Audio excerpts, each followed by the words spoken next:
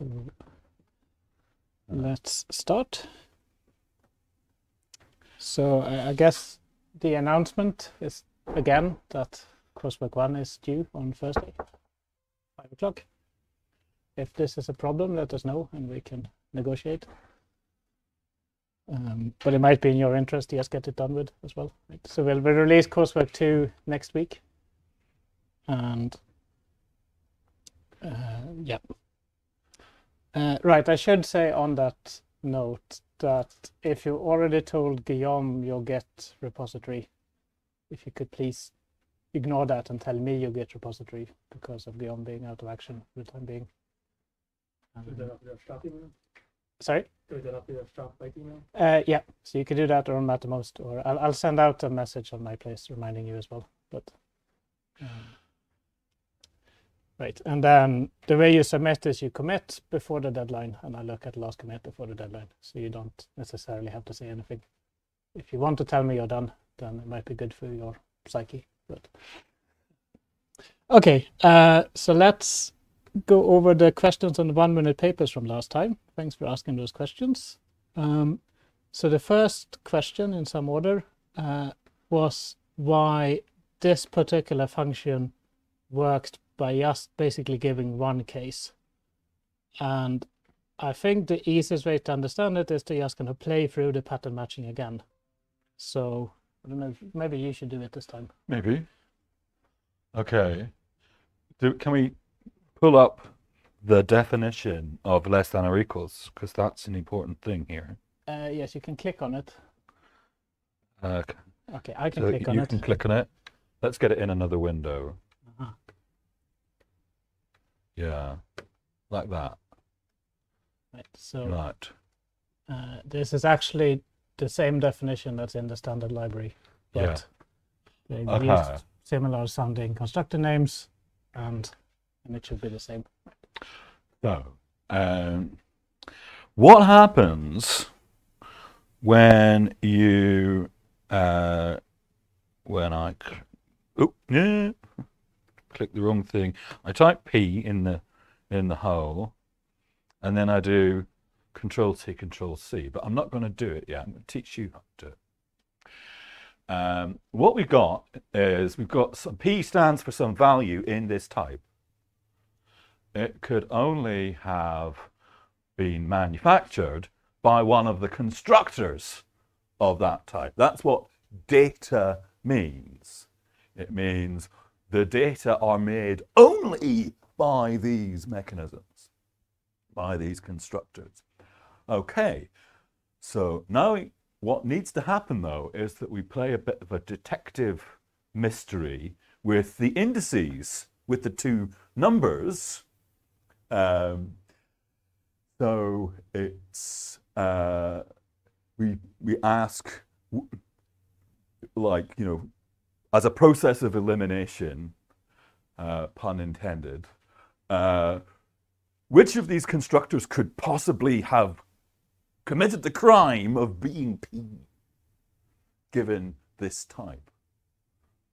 And the key deductive method we've got available to us is the fact that the constructors of data types are injective and disjoint, or in other words, zero is not successor.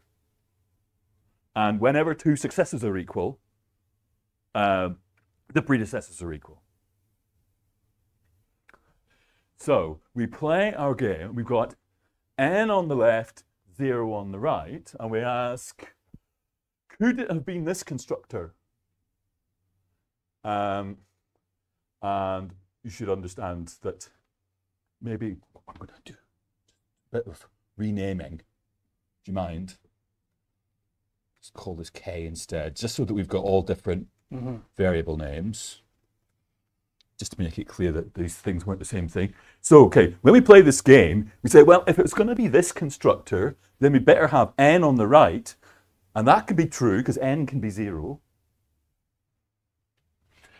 Uh, but this constructor demands zero on the left, in which case, bonus, we figured out that k had to be zero if it was this constructor. So uh, So this constructor works in the special case that n and k are both actually uh, found to be zero. There's, that's one possible solution. And then we ask, could it have been this constructor? And this constructor wants a successor on the right, and p has a zero on the right.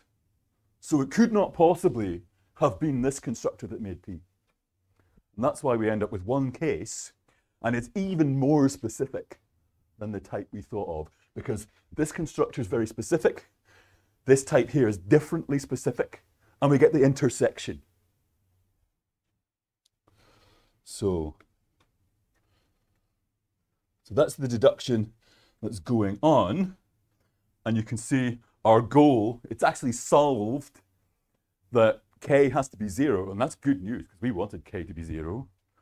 So that, that bit of deduction, detective work, figuring out how the indices could possibly have matched up. That process is called unification, by the way. Has anyone taught you about unification in the past? So unification is the business of saying for what valuations of these variables can these equations possibly be true? And that's what's going on. The, the, whenever you do case analysis uh, on, a, on a pattern variable in AGDA, it does unification and all the indexing information and it finds out that the solution is actually kind of a bit more specific in some way. And that's how we managed to prove this theorem. Okay, I hope that was helpful. Um, Yes, I think it's one of these things where just trying to communicate a bit more of the mental model of what's Yeah. going on in the machine, so it isn't just voodoo. Yeah. It- it's basically it's using kind of three reasoning principles, namely constructors are different. So if you ever see if you ever need zero successor, that's not possible. It's constructors are injective, which means that if you see successor on both sides of the of an equation, you can strip it off. You can um, uh, you can simplify that.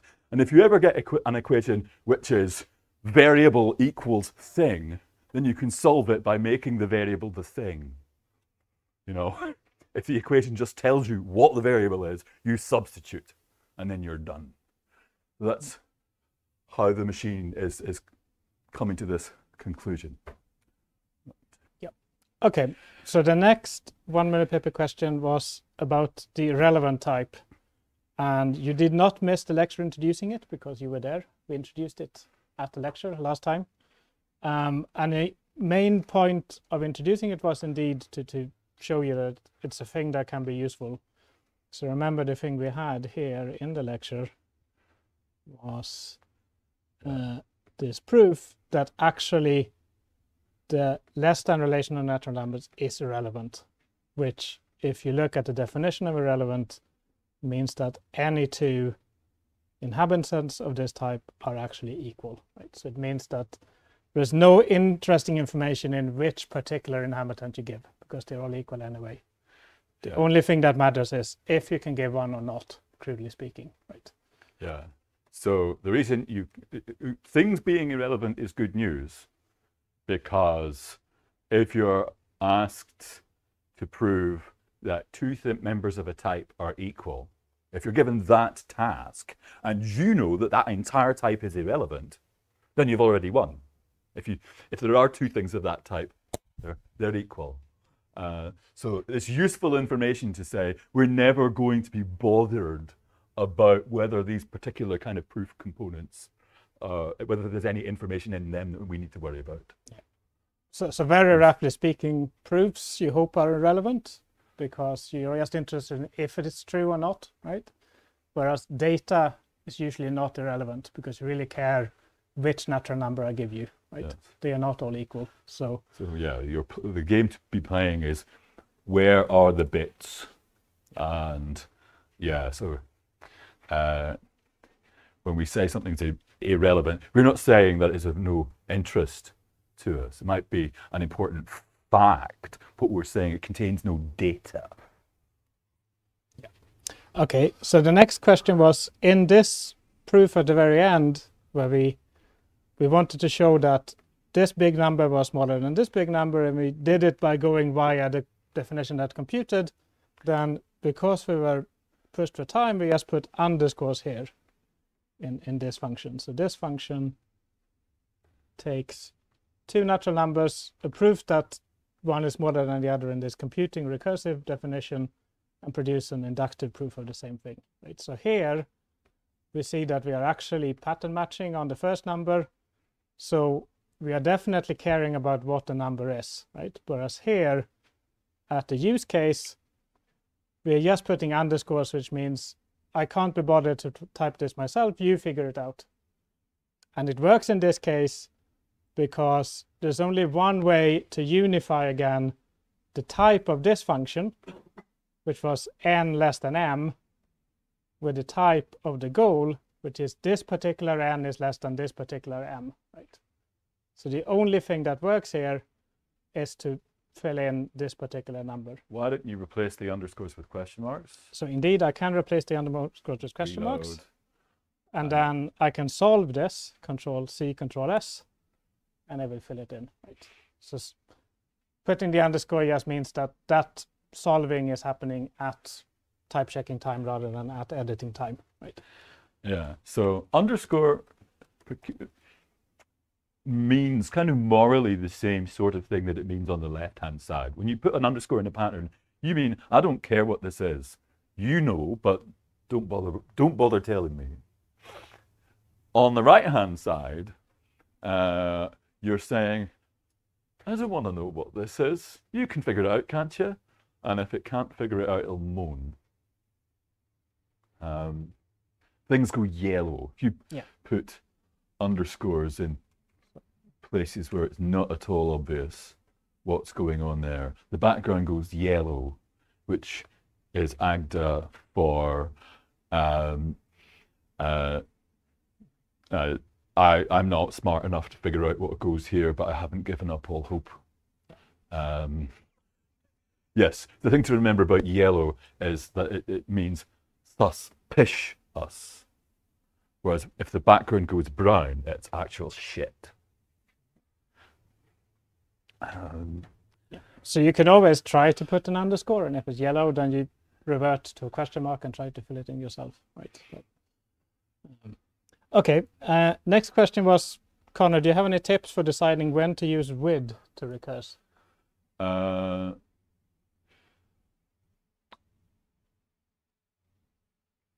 it's often a good idea to use with in when you're experimenting, when you're trying to find your way. Um, uh, and uh, you think, well, here's some information I can definitely get my hands on. So if you can see what recursive call you're going to want to do and that its output is going to tell you something useful or be part of the output of the whole thing, but you can't quite see how to get there yet, then s- starting out by putting it in a with might be helpful, especially if you want to do case analysis. So it's the key thing actually, Yeah. is that you do with whenever there's some extra piece of information that you need to get your hands on in order to make a decision about how to proceed. So it's not just that you compute something and you plonk it into the answer as a component. It's some crucial decision that you need to inspect. So you need to get it to somewhere you can match on it. And you might still need to be able to match on the other inputs. Uh, it might just be some extra useful information. So That's the idea of, of with is uh, to get your hands on some extra bit of useful information to the left hand side of your program where you're still able to do pattern matching to help you make decisions. Uh, So I guess we didn't look at this, but here's an example, right, where yeah, we do a good one. recursive call, and depending on if this recursive call says yes or no, we are returning different things here, right? yeah. So uh, it's a pretty good idea that if we can decide whether n is less than or equal to m, uh, then, you know, if it's a yes to that, then for the successors of, of n and m, there is going to be an explanation, but it's not necessarily going to be the same explanation. So we needed to see this yes or no to figure out whether we were going yes or no here, and then we also have to do something with the extra uh, information that we get back from uh, uh, you know the, the, proof that comes with the, the decision. Yeah. Uh, yeah, and it was um, well, there's another trick that With does, and we'll get to that one of these days. Okay, excellent cliffhanger. Um, Um, right, so let's get on to the last one minute paper question, which was the difference between indices and parameters in data definitions. So I brought out the, the example we always bring out again because it actually has one parameter and one index, right? yes. And the idea is that the parameter stays fixed for the whole definition. So you see it's the same A everywhere, right? Yeah. Whereas the index changes. So here the index is zero. Here it's suc of n for, for some n that we are quantifying over here. Yeah. So if you were, uh, if you wanted to, you could make this um, this a a module parameter. Uh, you know, just say, oh, there's some the element type. We're going to talk about vectors for a while. The element type is just something that that stays. That it doesn't matter what it is, and it's uniform for the whole construction. Whereas this length really is changing. So also if you wanted to, you could in theory define vectors of natural numbers. And then you could define vectors of booleans and vectors of functions from booleans to booleans and so on. Just instantiating this A with different things and have a whole bunch of definitions, right? And and that would be fine, but here we're saying, well, we can actually just bring out this common parameter and, and define them all at once. Right. Yes. So that's we we use the word parameter when the variable is deployed completely uniformly, whereas this the number here is changing throughout the recursive structure of the data. So that's that's the main difference. Um, I put in in the completed version. I put what you could do if you wanted to to make this. If you change this from a parameter to an index, then you could do some weird things. Right? But often it's pretty. Often we use the parameters for for things that are just fixed throughout.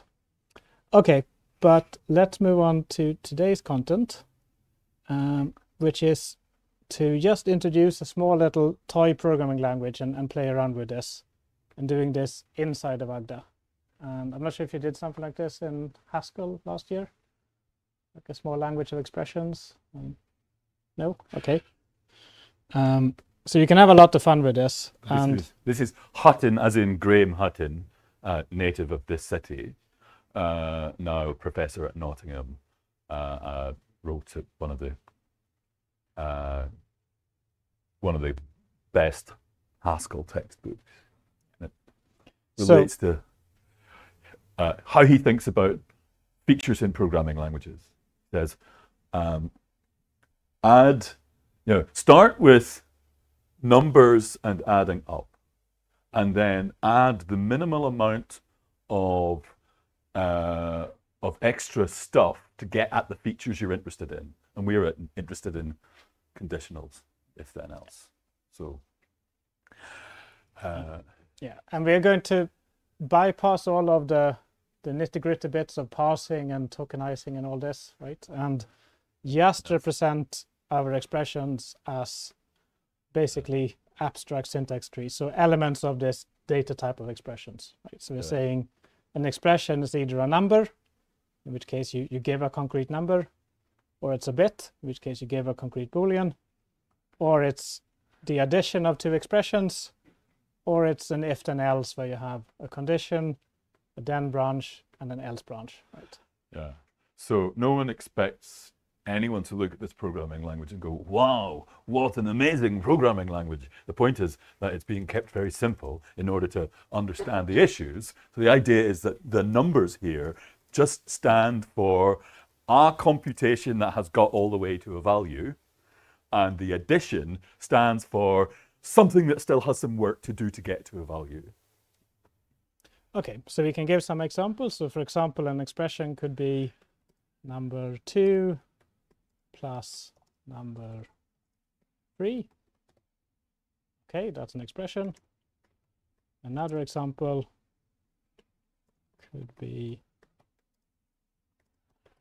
the number 5, You got something going on there with ah. your. right? And we can check that indeed we did example 1 and claim that that is equal to example 1 prime.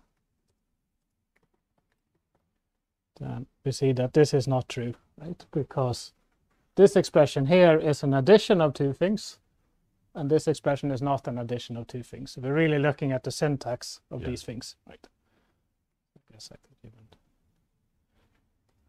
like this. Is that? Uh, no, you we can't. don't. We uh, don't have not in scope. Okay. Uh, so it's not the case that they are the same, right?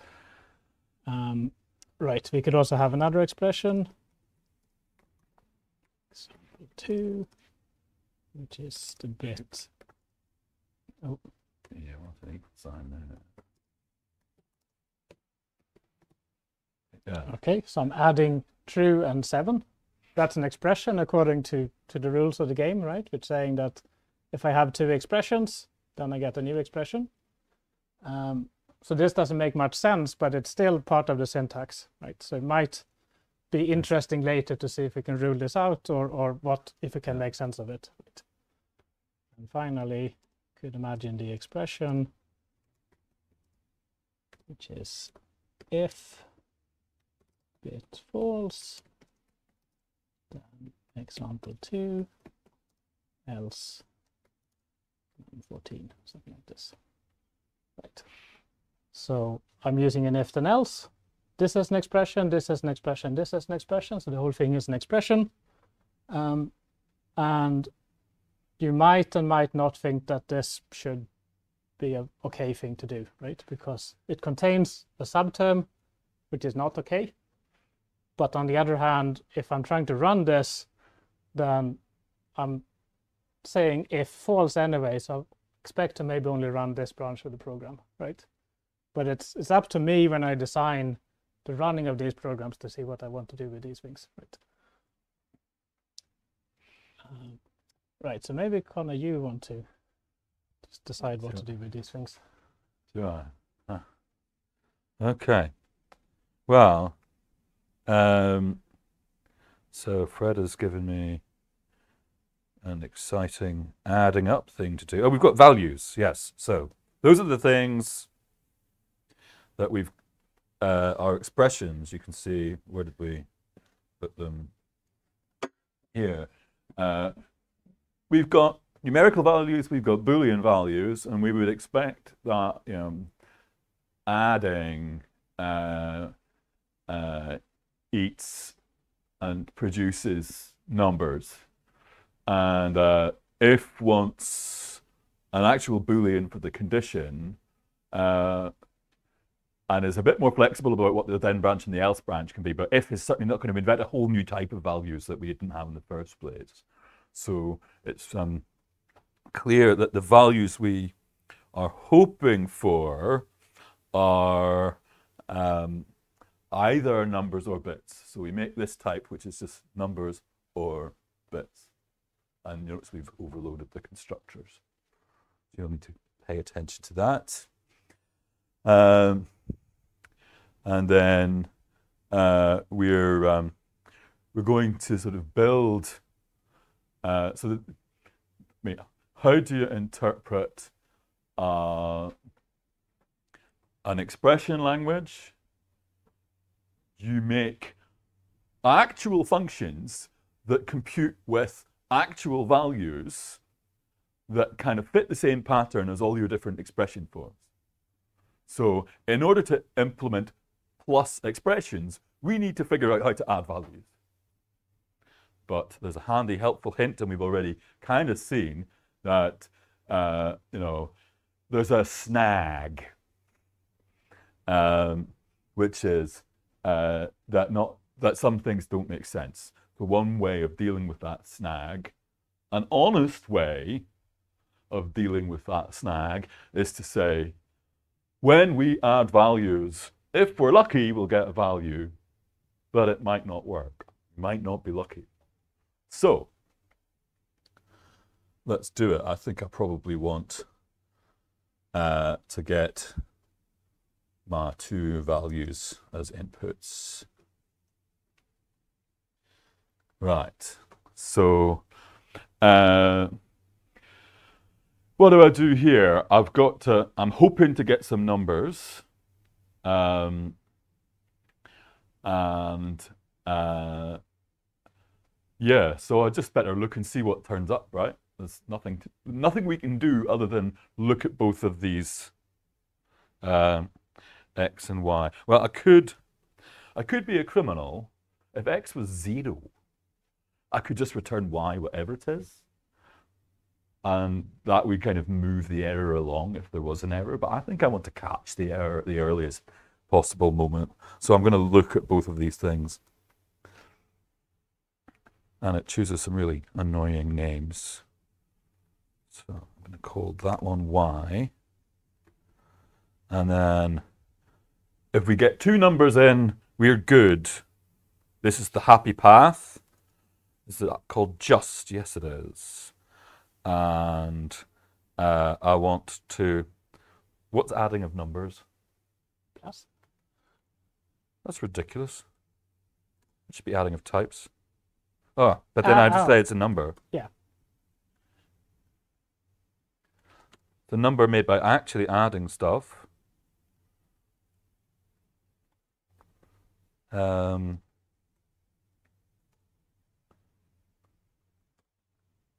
what's that yellow doing? There's no yellow there.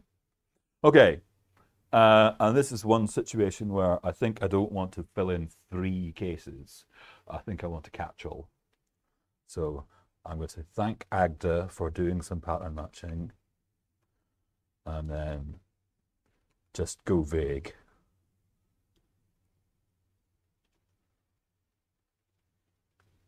And then say nothing. There. Uh, so we've got add, we've got something that adds uh, values uh, if we're lucky. Um, and now, are we going to go for the whole thing? I think so. Let's see what happens. We've got an expression, and because we know some expressions are daft, again, we're in the situation where we might get maybe a value. Um, uh, so, um, uh, so let's see. Uh, there are some easy cases. I'll do do a bit of Fortran. Sorry, too too young for Fortran. Uh, Fort, in Fortran, a language of the 1950s, uh, the compiler told the types of variables apart by looking at their names. So it was like if it began with, if it was called n, it had to be a number, that kind of thing. um, it was a bit scary. Um, right. Okay. So if we've got num n, that's already a value pretty much. So we can say we've won. I give it back num n. And if it's a bit, then I can give back a bit. Um, okay. I've got two expressions. I can certainly evaluate them recursively. Um, so if I say eval e, eval e will give me not a vowel, but a maybe vowel, right? I kind of want to use this, this plus v operation to get my maybe vowel out.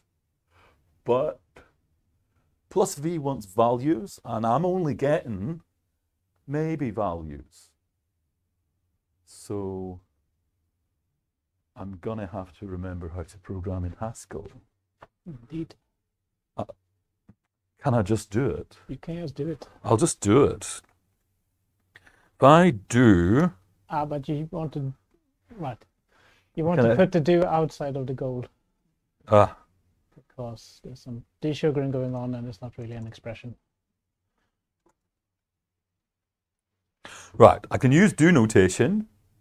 Am I allowed to do this? Or do I have to do it all outside? Better if you do something outside. Okay. So in Haskell, I would write get v from E. Eval of E. Um, eval of E.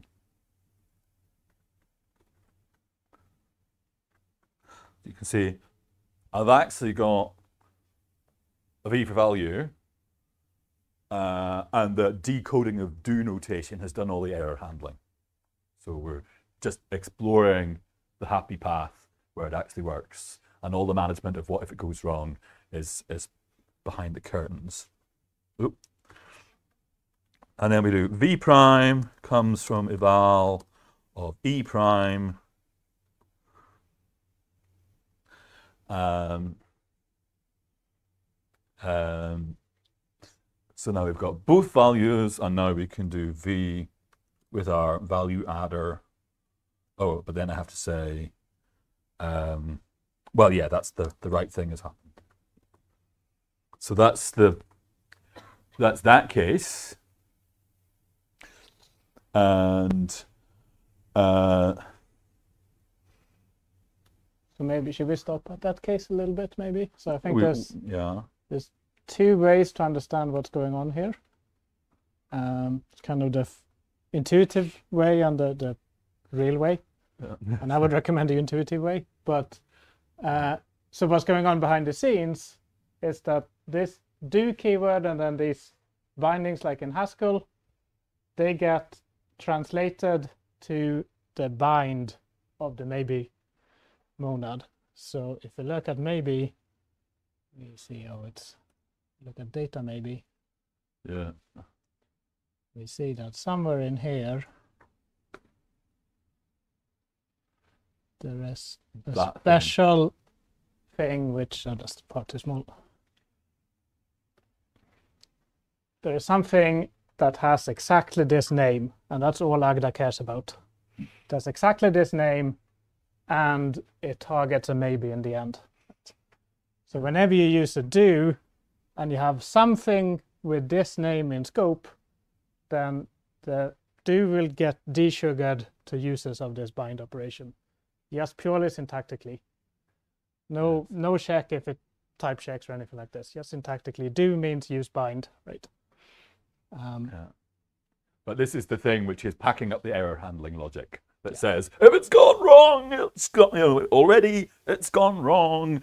If we're still going after the first thing we're trying to do, then, you know, carry on with the, the value.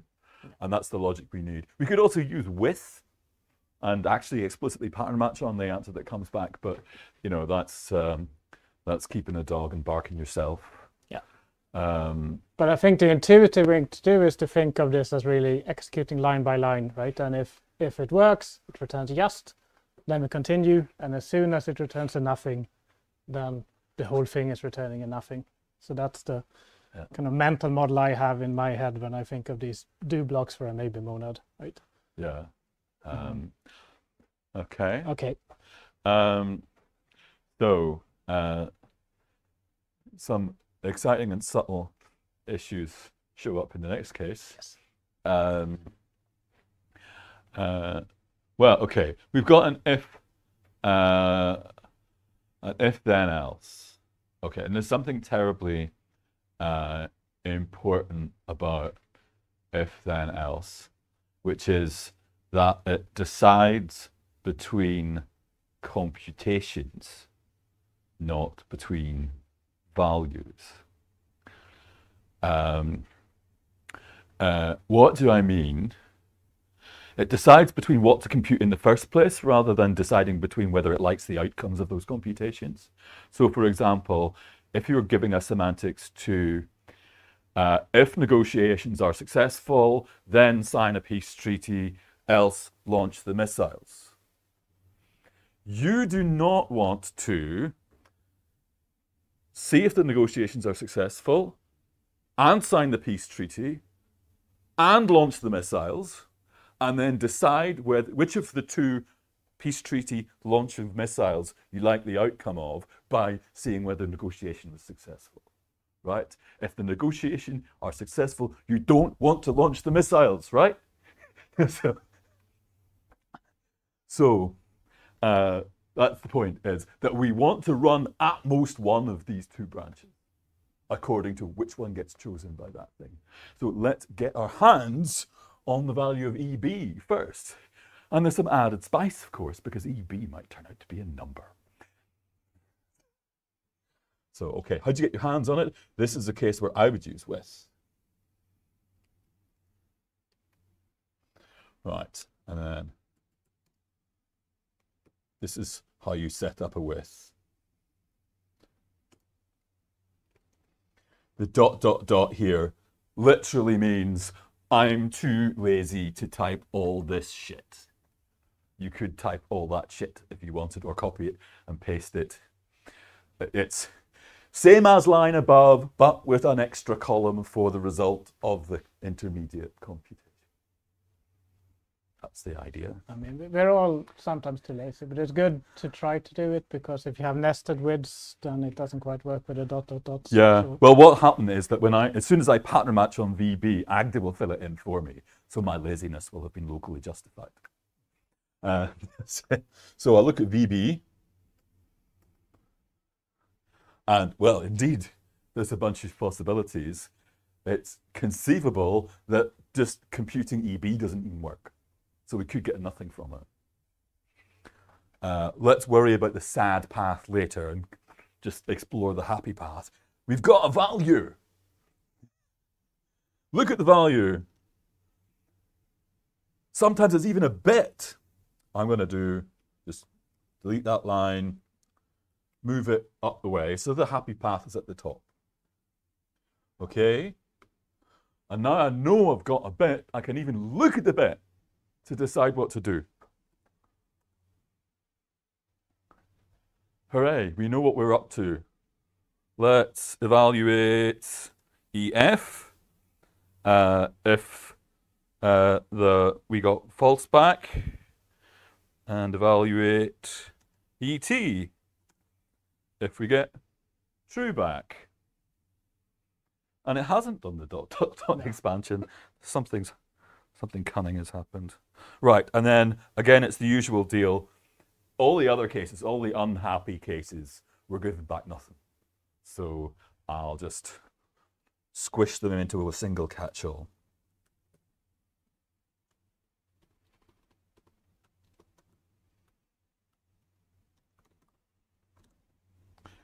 I mean, I could have done it with a do, but I'd rather do it with. Uh, yeah, so that's um, uh, that's our situation where um, we've told we've told the best truth we think we can here. That you know, if you run an expression and you're lucky, you'll get a value. We know we can't promise uh, that you'll always get a value because we've got some rubbish expressions.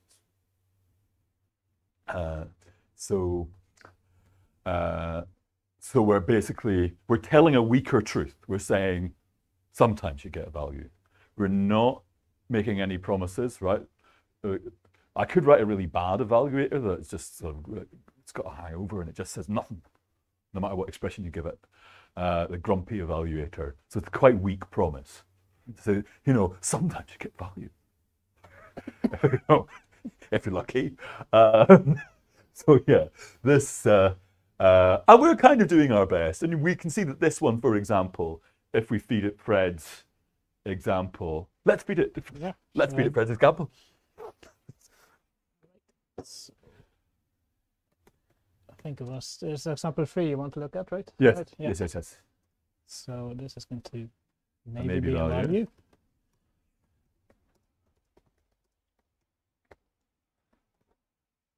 Okay, so example three was if false, then launch the missiles, else 14, right? Um, okay, and that's too far. Right, so type checks is maybe a value. we can actually evaluate it, control C, control N, TX3. And we see that we did get just 14, right? So it didn't go into the the true branch and, and launch the missiles, whereas we try to do the same for tx2.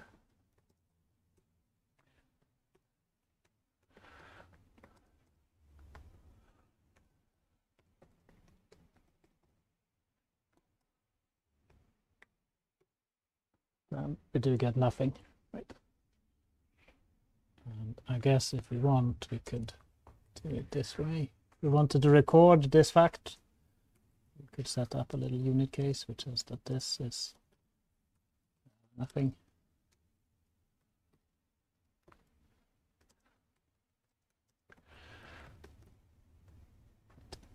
And similarly here.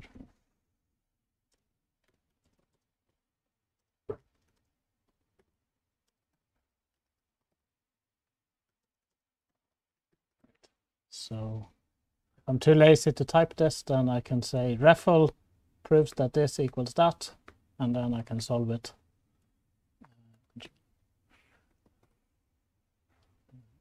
But that's a bit dangerous if you're actually setting up a test case, right? Because it's saying what the right answer should be based on, on the wrong program, possibly. But um, Okay.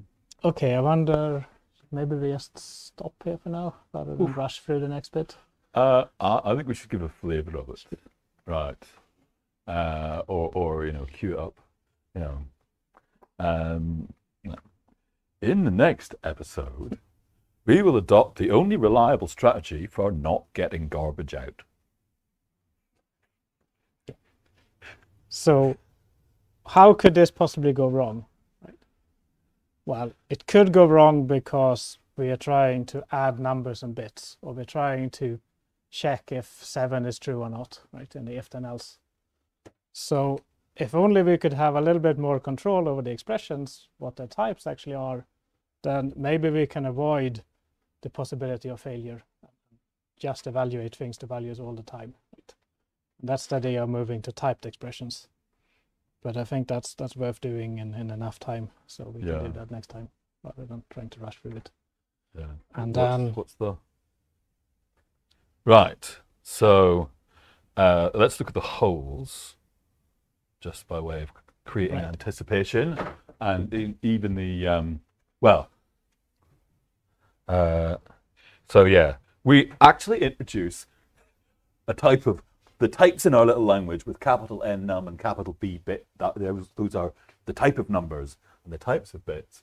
And then, wow, we're going to introduce typed expressions where the AGDA type of expressions tells you uh, the toy language type of the expression you're writing. So, in particular, the num constructor makes numbers and the bit constructor makes bits and add adds numbers and if then else definitely wants a bit and it's not fussy about the type of the else then branch and the type of the else branch as long as they're both the same is the type of the whole thing